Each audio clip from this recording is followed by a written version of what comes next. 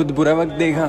अच्छा मुझको दिखाया जो भी मैंने मांगा हमेशा मुझको दिलाया लाइफ में मुझे कभी रहने नहीं दिया सैड और इतनी अच्छी लाइफ के लिए